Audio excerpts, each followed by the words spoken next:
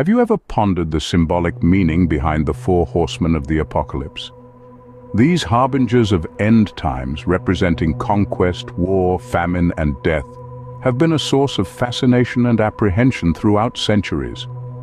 The recent events have seen a resurgence of these biblical figures, not in their literal form, but in their symbolic representation.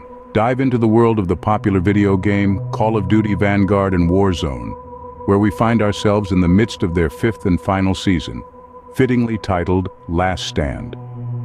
The season introduces an explosive scenario that echoes the cataclysmic nature of the Four Horsemen. The Caldera volcano's eruption bringing destruction and chaos resonates with the first horseman, Conquest, who is often associated with disaster and upheaval. In this apocalyptic setting, players encounter four classic Call of Duty villains, each embodying the traits of the remaining horsemen.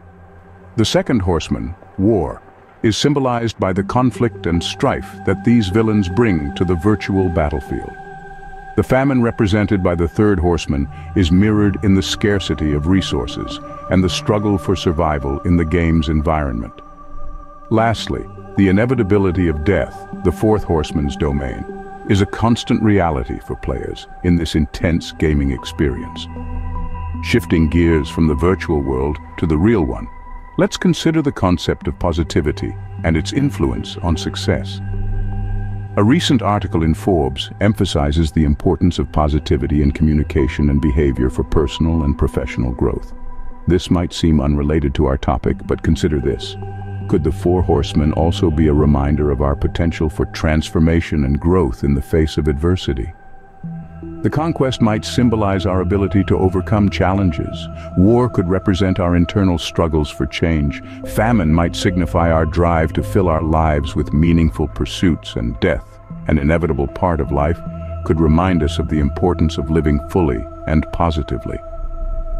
In conclusion, the four horsemen of the apocalypse, while traditionally viewed as harbingers of doom, can also be seen as symbolic representations of human experiences and struggles whether in the virtual world of a video game or the real world's drive for positivity and success, these symbols continue to influence our perceptions and actions. As we navigate our own battles, let the horsemen serve not just as symbols of end times, but also as reminders of our potential for resilience, growth, and positivity.